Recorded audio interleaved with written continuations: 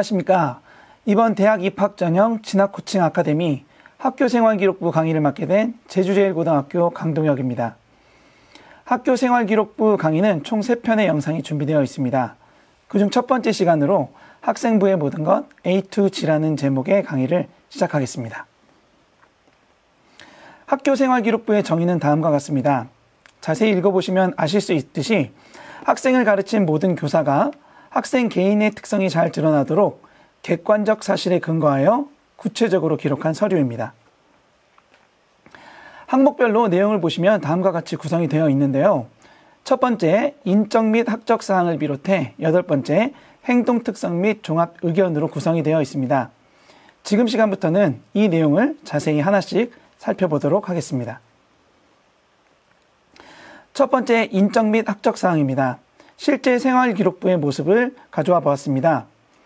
인적 사항과 학적 사항에는 학생 정보, 학적 사항, 특기 사항이 기록이 되는데요. 그중 특기 사항은 자퇴, 퇴학, 휴학, 학교 폭력 가해의 경우 제17조 1항 8호인 강제 전학, 9호인 퇴학 등 중요한 학적 변동 사항이 기록이 되게 되어 있습니다. 두 번째, 출결 사항입니다. 출결 사항에서는 결석 일수, 지각, 조퇴, 결과 등의 내용이 들어가고요. 여기에 특기 사항에서는 질병, 미인정 등으로 인한 장기 결석, 기타 결석 등의 사유 등을 입력을 하게 될 수 있습니다. 더불어 반복적인 지각과 조퇴의 경우에도 사유를 입력할 수 있으니 유념하시기 바랍니다. 세 번째 수상 경력입니다. 수상명과 등급 위, 그리고 수상연 월일, 수여기관, 참가 대상이 구체적으로 기록이 되어 있습니다. 모든 교외의 상은 학교 생활기록부 어떠한 항목에도 입력이 되지 않습니다. 더불어 교내상은 학교 생활기록부 수상 경력에만 입력할 수 있으며 수상 경력 이외에 어떤 항목에도 입력되지 않으니 유의하시기 바랍니다. 네 번째, 자격증 및 인증 취득 사항입니다. 학생이 재학증 취득한 기술 관련 자격증으로 국가기술자격법에 의한 국가기술자격증, 개발법령에 의한 국가자격증, 자격 기본법에 의한 국가 공인을 받은 민간 자격증을 입력하게 됩니다. 다섯 번째, 창의적 체험 활동 상황입니다.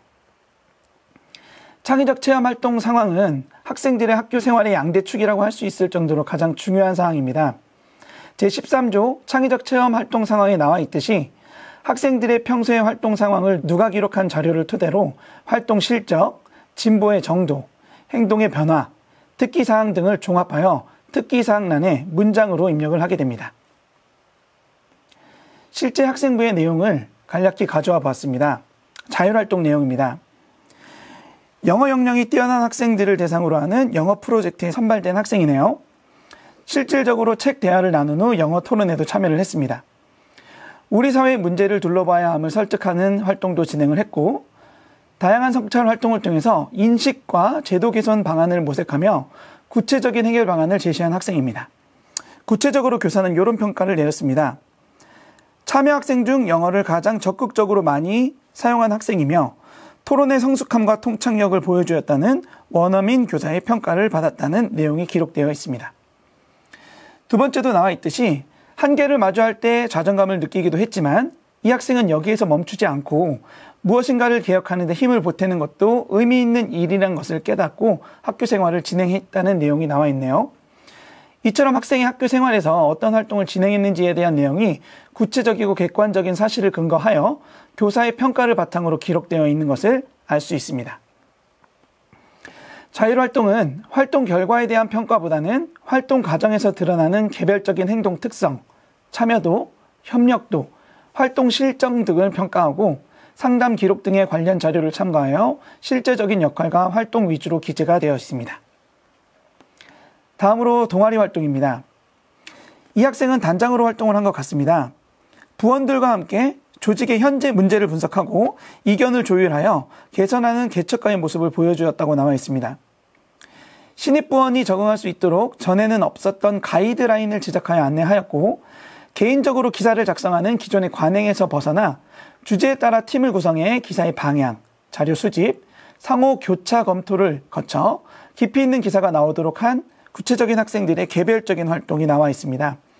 이 학생은 기족의 관행을 깨려고 노력을 했던 구체적인 모습들이 나와 있고요.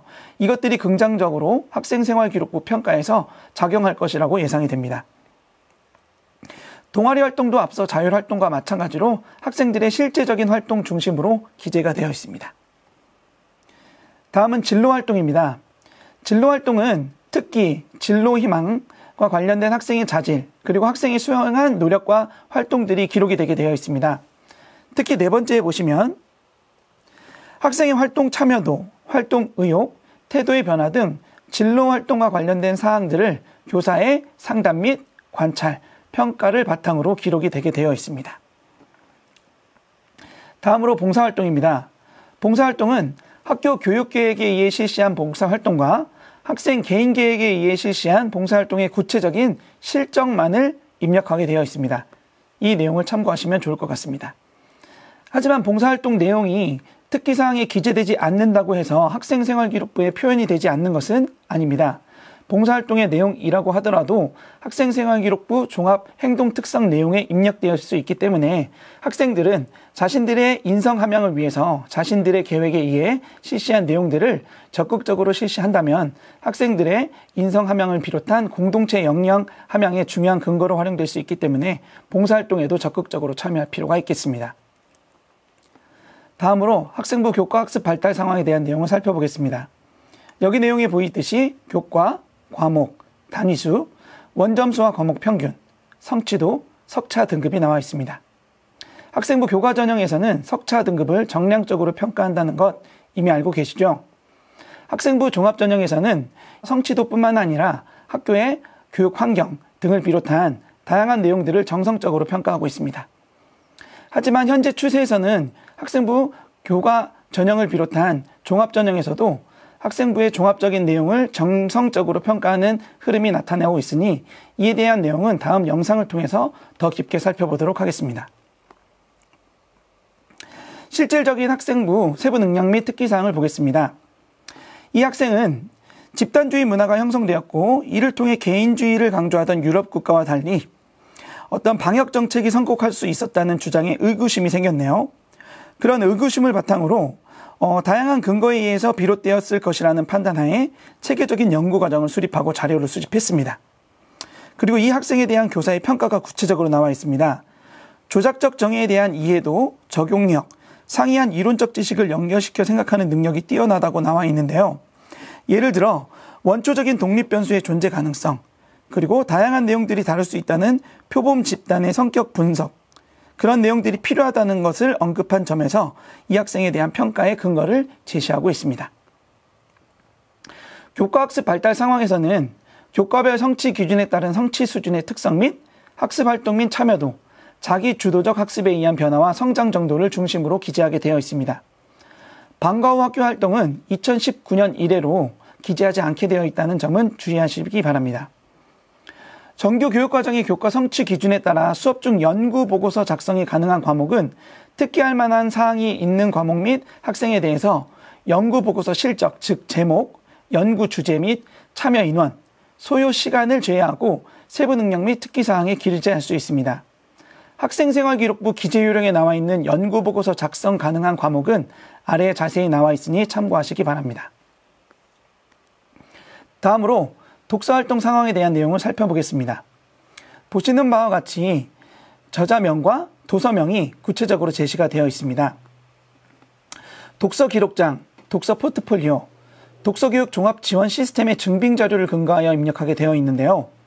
여기서 중요한 점은 단순 독후 활동 외에 교육 활동을 전개하였다면 도서명을 포함하여 그 내용을 다른 영역, 교과 세특 또는 창의적 체험 활동 특기 사항에 입력할 수 있습니다. 더불어 2023학년도와 달리 2024학년도 대입부터는 상급 학교 진학 시 독서 활동 상황은 제공하지 않습니다. 그렇지만 앞서 언급하였듯이 단순 독후 활동 이외의 교육 활동을 전개하였다면 특기 사항으로 기록될 수 있기 때문에 학생들의 개별화 학습 전략으로 아주 중요한 내용으로 정보를 제공할 수 있습니다. 이 내용은 다음 영상으로 자세한 내용을 설명하겠습니다. 마지막입니다. 행동 특성 및 종합 의견입니다. 행동 특성 및 종합 의견은 학생들의 학업 역량, 진로 역량, 공동체 역량을 종합적으로 담임 교사의 입장에서 평가하여 기록할 수 있습니다. 학생의 학습, 행동 및 인성 등 학교 생활에 대한 상시 관찰, 평가한 누가 기록을 바탕으로 다양한 분야에서의 구체적인 변화와 성장 등을 종합적으로 기재할 수 있기 때문에 학생들의 진솔한 모습을 볼 수 있는 가장 중요한 교사의 추천서와 같은 내용으로 기록되고 있습니다. 이상으로 학교생활기록부 A2G 어떻게 구성되어 있는지 총 8개의 항목으로 알아봤습니다. 첫 번째 인적 및 학적 사항을 기반으로 해서 여덟 번째 행동 특성 및 종합 의견까지 내용을 구체적으로 살펴보았습니다. 이 중에서 5번 창의적 체험 활동, 6번 세부 능력 및 특기사항, 그리고 8번 행동 특성 및 종합 의견은 학생들의 개별화 설명 전략으로 그리고 학생들의 개별적인 모습을 자세히 표현할 수 있는 가장 중요한 내용이기 때문에 이 점은 유념하고 학교 생활을 할 필요가 있습니다. 자세한 내용은 슬기로운 학교 생활 편에서 보다 깊게 다루도록 하겠습니다. 이상으로 학교 생활 기록부 A to G에 대한 강의를 마치도록 하겠습니다. 감사합니다.